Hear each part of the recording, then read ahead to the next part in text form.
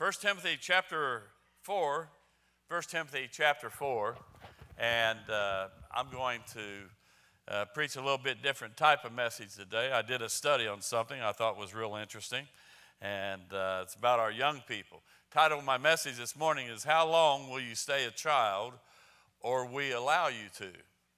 And uh, I think what we have today, uh, we have a system that's trying to create everlasting youth. And as a result of that, there's a lot of non responsibility, and uh, there's a lot of things that's going on as a result of that. I want to talk about that a little bit. 1 Timothy 4:12 says this here, "Let no man despise thy youth, but be thou an example of the believers in word, in conversation, in charity, in spirit, in faith, and in purity." And I want to talk a little bit about that today if I could. Society thinks that our young people and our young adults that they're just not mature enough. They think that they're just going to be kind of goofy, silly, and kind of run away from responsibility. Uh, our young people, they say, are dumb about politics, economy, the faith, community action. Uh, all the, our young people want to do today is hang out at the mall, waste money, gab on Facebook, TV, texting, listening to music, fun, and entertainment without much achievement. And of course, we say to that, according to God, hogwash. Amen? The Bible states this in Psalm 139, verse 14. The kids learned it this week. I will praise thee, for I am fearfully and wonderfully made. Marvelous are thy works, that my soul knoweth right well.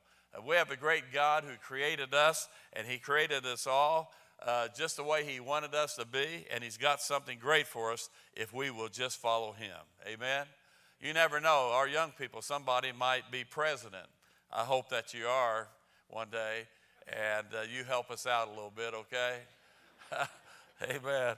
Supreme Court Justice, a teacher, a CEO, a business owner, an author.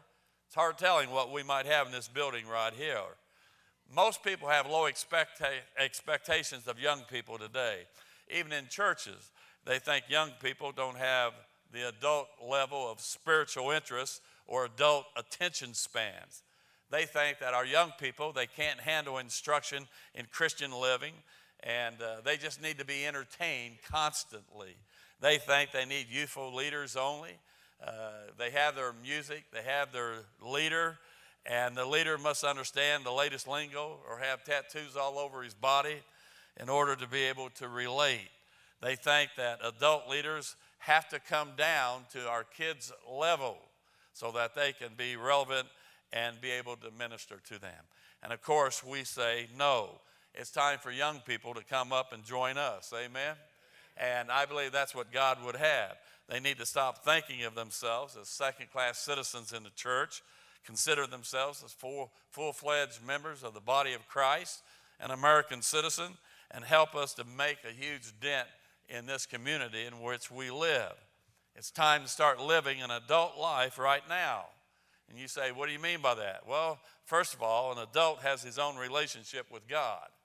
It's time for young people to embrace the gospel of Jesus Christ and then have their own relationship, and their spiritual growth is totally dependent upon them.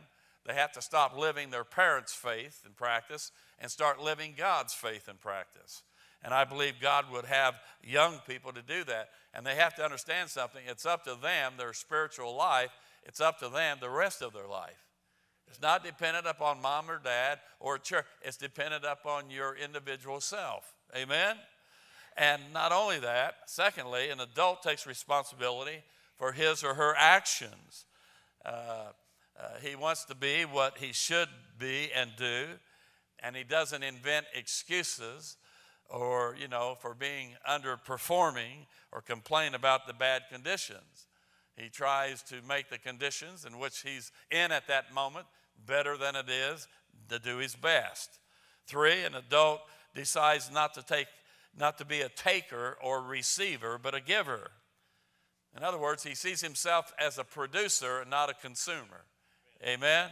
As Jesus was a servant, ditto. And that's what God wants young people to be. Uh, he asked himself this question How can I spend tomorrow, okay? How can I spend tomorrow in such a way that when I look back, I won't be embarrassed, but I'll be thankful and not regretful? Amen? An adult does something else. An adult, he lives with the conscientious sense of duty. That word duty, it's not a word that's thought of a whole lot today. It's the opposite of the ideal for looking out for number one, yourself. Duty is a responsibility in the world around you, looking more for your responsibilities than your rights. Amen. As believers and as citizens, we have God's word, we have our country's laws that protect our rights. But unfortunately, we live in a very selfish time when most people are majoring on their rights and minoring on what? Their responsibilities. Exactly right. Everyone wants his entitlement today as a, citizen and as a believer, but few want to know what their duties are. Huh? Duty conscious people look for ways to be helpful in their family, their church, their employment, their community, and even in their country. Anymore in our culture, our priorities are upside down. We work as much as we have to just in order to survive instead of producing. We worship entertainment and pleasure. Let me give you an example of that. Here's a couple lists. First list Do you know who Andrew Luck is? Tim Tebow, Tiger Woods, Jennifer Lopez, Joshua, who sang on American Idol, Tom Cruise, Boy, he's in the news lately, isn't he? Kim Kardashian. And most people would say, yeah, we know these people, we know them, we know their names and everything. But let me say something about those people. What they do is they play for a living. That's what they do. They play for a living. But here's another list. Do you know these fellows? Christiaan Barnard, Jonas Salk, Alexander Fleming, Christiaan Barnard, he performed the first successful heart transplant, human transplant. Jonas Salk, he created the Salk vaccine that stopped crippling polio. Fleming, he developed an antibiotic, penicillin, saving millions of lives. Now, which one of those lists contributed more to mankind? The ones that are playing or the ones that worked at something? And it's the ones who worked at something. You see, we've become a nation defined more by our playing, entertainment. We want to see our football, our basketball. Well, it's killing me to see all these big contracts these guys are signing right now. I don't know why. When everything is so bad and they argue and they go up in the 50s and the 100 millions, it's unbelievable to me. You know that? They'll pay a school teacher something like that. Amen? But we want to see our football, our basketball, our baseball, track and field, gymnastics, swimming, fishing, hockey, softball, golf, and so on, than by our work. Fun and games allows adults to be able to take their childhood into their adulthood. Amen? The fifth thing, an adult steps up to his potential in God and his life. I believe God is calling young people and young adults today to become adults. Let me remind you of some things. This is just a recent craze the last 50 years. Let's see what it used to be. John Quincy Adams, the sixth president of the, our country, drilled with the Massachusetts militia during the Revolutionary War. He was eight years old. At 11, he served as secretary to his father, John Adams, who, by the way, was the second president of the United States. John Adams, an envoy to France at that time.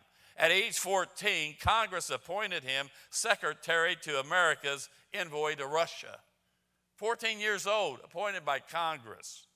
Thomas Edison, inventor of many inventions, but especially the light bulb. And uh, he didn't wait to grow up. At age 12, he worked on the railroad. He rebuilt an old printing press and he published a newspaper in the railroad baggage car, and then he would sell that to the passengers. Huh? They fired him later on because he created a fire in that baggage car for, for mixing chemicals. He was working on a project. David Farragut, the first admiral in the U.S. Navy, Navy, went to sea when he was nine years old. He was uh, in the War of 1812. His ship captured a British warship, Farragut. He was commanded to sail that from the west coast of South Africa to Boston, and he was 12 years old at that time as the commander. On another ship, another war, Calvin Graham distinguished himself on the USS South Dakota in World War II. In, ba- in battle, Japanese artillery hit his ship. It got on fire. Graham was seriously wounded. But despite his injuries, he not only took part in the fire control efforts, but also he rescued several of his wounded sailors who would have otherwise burned to death. Graham was awarded the Purple Heart for his wounds, the Bronze Star for his heroism, and a discharge for lying. During his recovery, they discovered that he had falsified his enlistment papers and he was only 12 years of age. That amazing? Benjamin Franklin, statesman, diplomat, scientist, philanthropist, and so on, he went to school for only two years. He had a publishing career under a pen name. As a teenager, he would slip his articles under the editor's door and the article and the editor would begin to leave him money, but that's how he got started in that. Only a few years ago, young people routine, routinely carried serious responsibility before the marrying age. Young people learned early in life that the world did not revolve around them, and they learned they could handle that. I don't, give, we, I don't believe we give our kids credit sometimes they can do it. We try to baby them and protect them and live our lives through our children. That has to stop as a parent. Let them go. They need to grow up. Amen? That's good preaching, Jim. I'm sorry. What happened, our government began to view, and the church followed, that all this American self sufficiency and independence with disapproval. And the reason why is when independent people think for themselves, that makes them harder to govern because they can't be hoodwinked or in church controlled. You see, this was the threat for those concerned with changing our public opinion in favor of socialism, bigger government, and better control. The process of growing up has changed in our country. Lots of people wanted to control the rest of the population. In order to do this, they had to make people childlike and irresponsible. Childhood had to be artificially extended so that its citizens would be easier to be led or misled. Frederick Engels, a communist friend of Karl Marx, stated in the Communist Manifesto. Remove people from their roots, they can easily be swayed then to our view. Engels was right, and our country proves it because of the last 50 years. We're going towards socialism, you see. It's worked with our young people. Most in the public now accepts as normal an American youth lifestyle that keeps kids up in there. Now get this, that keeps kids uh, locked up in schools and universities for most of their lives. Their productive hours away from the challenge of real work and a real world. 50% plus today in our country live on entitlements and still instead of pulling their straps up themselves. Amen? Professor said it's taking, wow, 50% longer to decide on a career's direction. That may they just keep them going and going. Well, you need this, you need this, and you need this. And we're keeping our youth in an artificial environment instead of the real world. Kids are not growing up doing grown up work, thinking about grown up things or issues. Our kids today do live in a matrix that's created by our own system. It used to be kids wanted to be adults, they wanted to grow up, take their places in the real world. Back in my early days, the adults, many of them were teens. Today, one can be a child as an adult, yeah? which seems to be teens and 20 somethings. And they're still not supporting themselves. Uh, what do you think's going on? Today, government and education has created a young person called an adolescent. Now, get this who has the freedom of an adult to do what he pleases, but has the responsibility of a child. Is that not true or not? It's freedom from responsibility is the third leading cause for suicide among ages of 15 to 24 today. I believe with all my heart God's offering you a different way. Skip your adolescence and grow up. Amen? And parents, allow them to grow up. Decide to grow up now and take responsibility for your life. It means you're taking responsibility for your actions. You're determined to amount to something rather than just play the youth life all the time. It means you're placing your life, yourself, at God's disposal. It means that God, whatever you have for my life, I'm going in that direction for you, for your honor, for your glory. I'm going to stop being so dependent on mom and dad. I'm going to start trying to make a way for myself. Huh? Amen? And your parents need to allow them to do that. God called a young man when he needed a prophet in Israel. He called a young lad by the name of Samuel. God called a young teen to suffer so he'd be, he'd be in position to save his nation, Israel, Joseph. God called a young teen to defeat a giant when the other older soldiers wouldn't fight. That was David.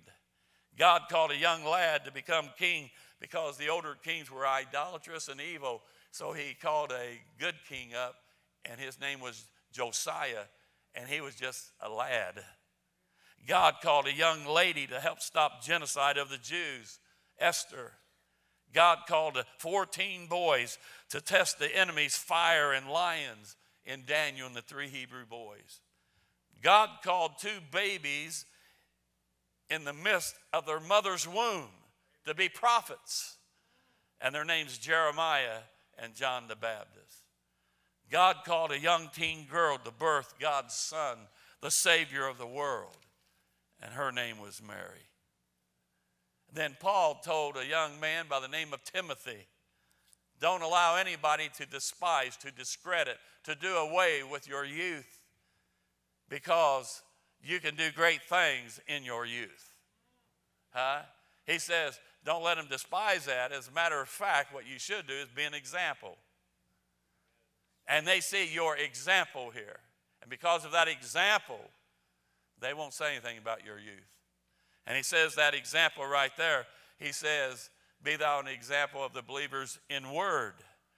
That's your conversation, the way you speak, and your public speaking, your private speaking. You control, you speak with grace. Then it says in conversation, that's your conduct, your behavior. Don't be a hypocrite. Go all out for God and live for God. And then he says in charity, that means in love for others. You have a caring, compassionate nature when you see other people in need. And then he says, in spirit, that's your spiritual character that's visible and observable by other people. You demonstrate your faithfulness and your trustworthiness to others. And then he says, in purity. That means you're you have your life disciplined. You're living a morally clean, pure, godly life with the opposite sex. You're not going by what society says you ought to do. I just read last night on the internet that they had to order a 100,000 condoms for the Olympic Games. Huh? They said it's a big sex fast. Yeah. Isn't that amazing? Our country has completely lost its morals. We've turned our back on the absolute truth of God. And when you begin to exclude God and turn your back on His absolutes, there's only one thing left that which comes from your flesh. And that's why the standards and the morals continue to drop, drop, drop. And let me say something to you God, He might be doing it now, but God has to judge America. I always remember Billy Graham years ago. He says, if God did not judge America, he would have to apologize to Sodom and Gomorrah. Amen? Amen? And that's true. And we're seeing the, the collapse of our country, our government, our system, of what we have always respected. But in the midst of it, the number one target is Christians and Jews. Those are the targets of our country. Uh, Connie has a sheet of list of all the things for the last several years here that they've done to take away and fight against Christian, Christians and Christianity. And it continues to go on, and we just go hum home. We're just walking into the gas chambers nonchalantly.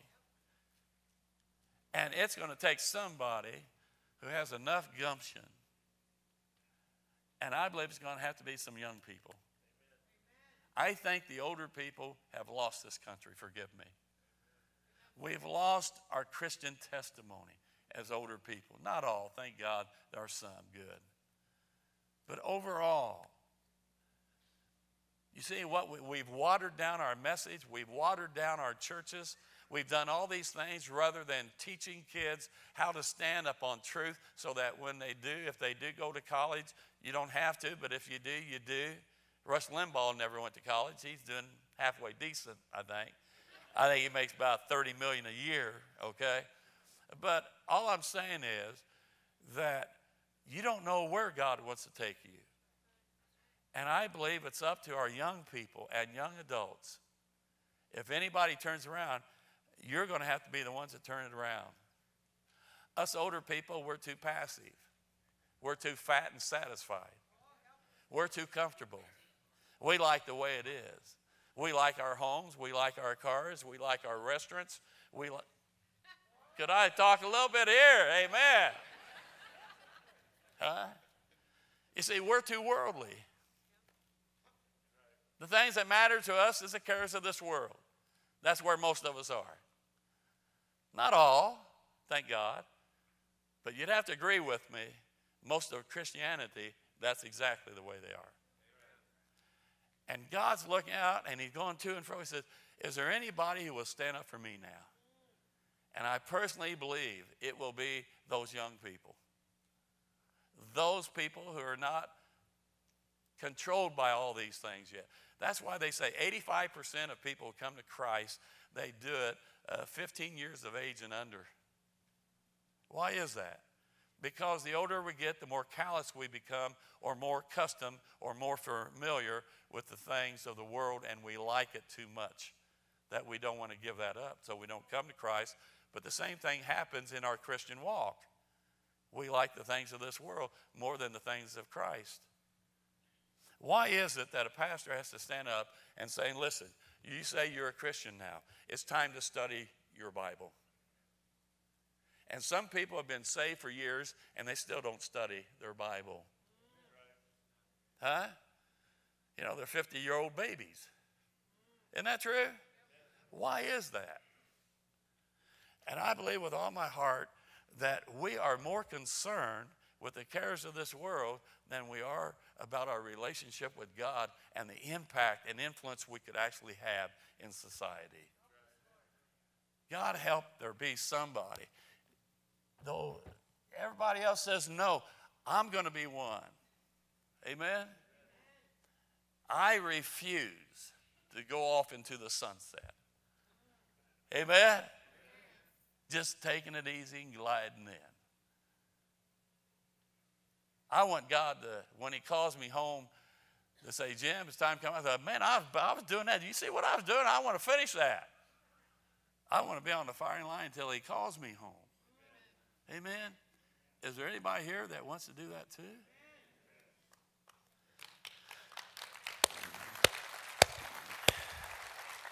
Father, we just come to you. Thank you for your love for us. And Lord, I just want to share this about young people.